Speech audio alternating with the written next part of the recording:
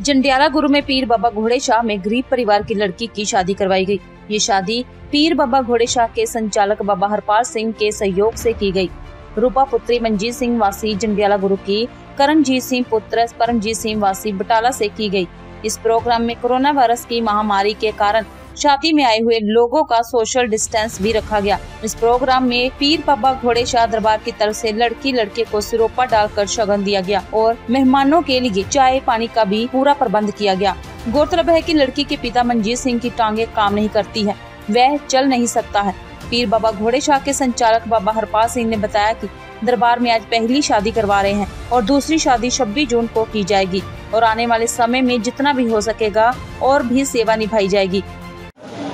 ਹਰਪਾਲ ਸਿੰਘ ਬਾਬਾ ਜੀ ਜਿਹੜਾ ਅੱਜ ਤੁਹਾਡੇ ਵੱਲੋਂ ਸੇਵਾ ਕੀਤੀ ਜਾ ਰਹੀ ਹੈ ਵਿਆਹ ਕੀਤੇ ਜਾ ਰਹੇ ਲੜਕੀਆਂ ਦੇ ਕੀ ਕਹਿਣਾ ਚਾਹੁੰਦੇ ਹੋ? ਦੇਖੋ ਅਸੀਂ ਤੇ ਇੰਨਾ ਕਰਾਂਗੇ ਕਿ ਜਿਹੜੀ ਬੇਟੀ ਸੀ ਉਹਨਾਂ ਦੇ ਫਾਦਰ ਸਾਹਿਬ ਠੀਕ ਨਹੀਂ ਸੀ ਰਹਿੰਦੇ ਲੇਕਿਨ ਬਹੁਤ ਅੱਛੇ ਇਨਸਾਨ ਸਨ। ਲੇਕਿਨ ਉਹਨਾਂ ਦੇ ਕਾਰਨ ਉਹਨਾਂ ਦੇ ਦਾਦਾ ਜੀ ਨੇ ਇੱਥੇ ਸਾਨੂੰ ਹੁਕਮ ਕੀਤਾ ਕਿ ਆਪਾਂ ਇੱਥੇ ਮੈਰਿਜ ਕਰ ਲਈਏ।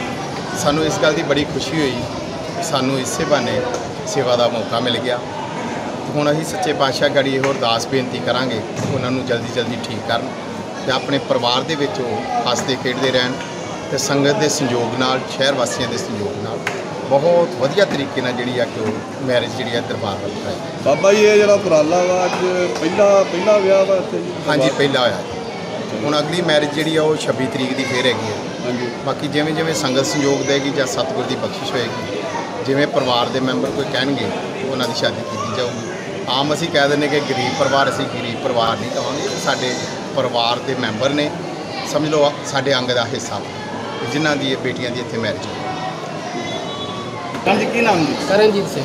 ਕਰਨਜੀਤ ਜੀ ਅੱਜ ਤੁਹਾਡਾ ਬੜੀ ਸਾਦਗੀ ਦੇ ਨਾਲ ਵਿਆਹ ਹੋ ਰਿਹਾ ਵਾ ਕੀ ਕਹਿਣਾ ਚਾਹੋਗੇ ਤੁਸੀਂ? ਮੈਂ ਚਾਹੁੰਦਾ ਜੀ ਮੇਰਾ ਸਾਥੀ ਦੇ ਨਾਲ ਵਿਆਹ ਹੋਇਆ ਪੰਜ ਸੱਤ ਜਾਣੇ ਇੱਧਰੋਂ ਆਇਆ ਪੰਜ ਸੱਤ ਜਾਣੇ ਉੱਧਰੋਂ ਆਏ ਦੇਖੋ ਮੈਂ ਬਾਕੀਆਂ ਨੂੰ ਕਹਿੰਦਾ ਕਿ ਇੱਦਾਂ ਹੀ ਵਿਆਹ ਹੋਣ ਸਾਰਿਆਂ ਦੇ ਕੋਈ ਦੂਜੇ ਨਾਲ ਕੋਈ ਸ਼ੋਰ ਸ਼ਰਾਬਾ ਨਾ ਹੋਏ ਕੀ ਲੋਕਾਂ ਨੂੰ ਕੀ ਸੰਦੇਸ਼ ਦੇਣਾ ਚਾਹੋਗੇ ਮੈਂ ਕਹਿੰਦਾ ਕਿ ਕਿਸੇ ਨੂੰ ਜ਼ਿਆਦਾ ਮਤਲਬ ਕਿ ਮੁਸ਼ਕਲ ਦੇ ਵਿੱਚ ਇੰਨਾ ਕਹਿਣਾ ਨਹੀਂ ਚਾਹੀਦਾ ਵੀ ਚਲੋ ਆਹ ਕਰੋ ਉਹ ਕਰੋ ਜਿੱਦਾਂ ਵੀ ਉਹਨਾਂ ਦੇ ਪਰਿਵਾਰ ਸਹਿਮਤ ਹੋ ਉੱਦਾਂ ਕਰਨਾ ਚਾਹੀਦਾ ਠੀਕ